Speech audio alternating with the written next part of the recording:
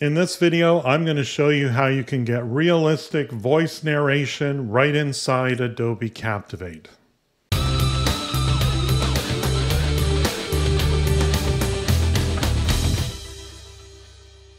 This video is brought to you by the Murf Voices installer from Murf Incorporated. Murf Voices Installer is the ultimate tool for Adobe Captivate developers who need quality voices for their e-learning development. No more robotic sounding voices for your content. With just a few simple steps, you can incorporate voices into your favorite Windows platforms that use the Microsoft Speech API, or SAPI for short. I'm excited to start using the Murf Voices installer for all my Adobe Captivate projects. To me, this is exactly the text to speech service I've been looking for since I started using text to speech over 10 years ago. You should know that while Murf has sponsored this video, the products and services I talk about on my YouTube channel are products and services that I would use in real life as an e-learning designer developer. I've placed a link in the description of this video where you can sign up for the Murf service that is appropriate for your needs. Please use my link to let Murf know I sent you. Let's get started using Murf. You can select to be billed monthly, or if you wish to save some money, select the annual plan. I recommend the business license as you will get 8 hours per month of voice generation and access to Murf Voices for Adobe Captivate, which I'll be demonstrating later in this video. Like many of the latest text-to-speech services, Murf offers the ability to work on your voice narration clips directly within their web application.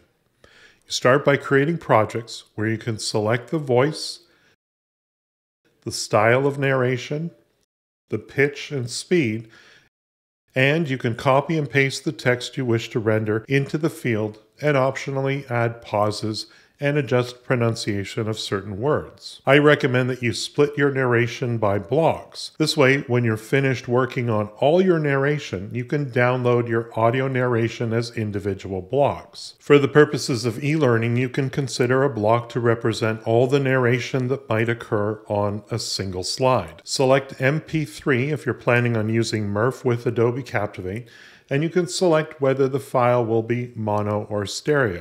Mono is usually all you need. One of the things I like most about Murf.ai is the fact that you can install voices in a similar way that the voices included with Adobe Captivate Classic and the all-new Adobe Captivate get installed. This standard is the Microsoft Speech Application Programming Interface, or Microsoft SAPI for short. The advantage of Microsoft SAPI is that you don't need to use the web interface to render text to speech. You can create your Murf text to speech right from within Adobe Captivate. This is nothing new for Captivate, but the voices provided with Adobe Captivate have left much to be desired. In addition to the sign up link in the description of this video, there's also a link where you can download the Murf Voices installer for Windows.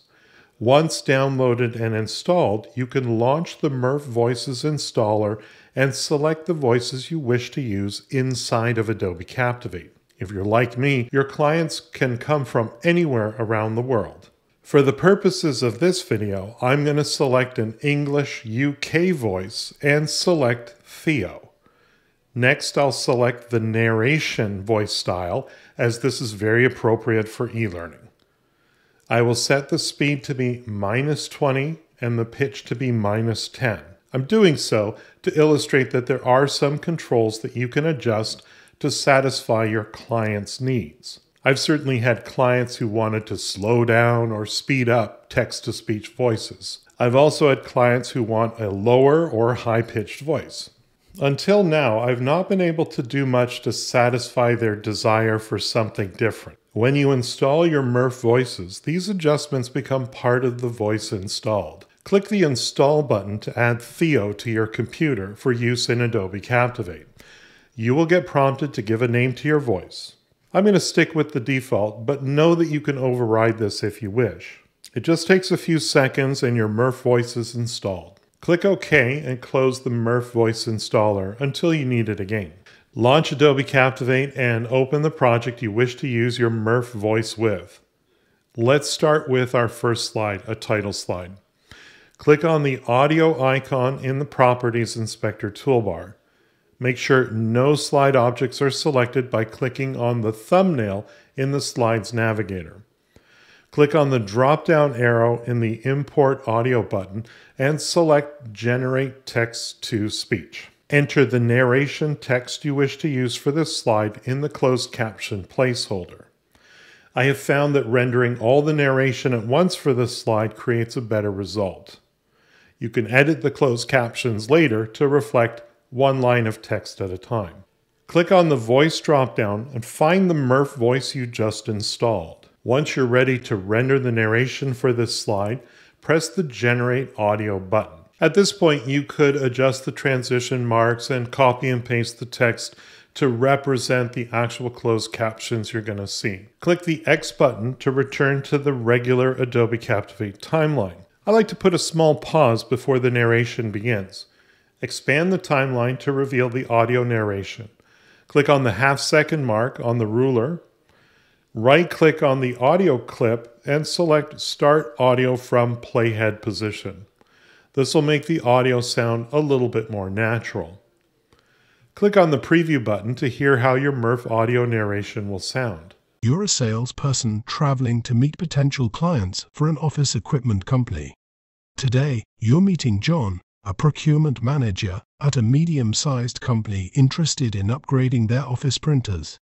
Press continue to get started. This sounds so much better than the voices included with Adobe Captivate. I know my clients and their learners will appreciate it.